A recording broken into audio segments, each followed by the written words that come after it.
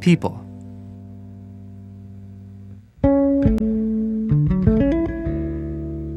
Photos.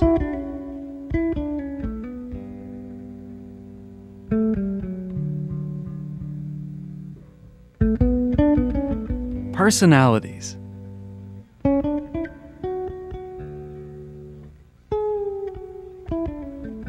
Faces.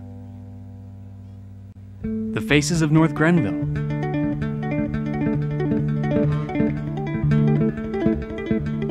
Subjects wanted. Be a part of the project.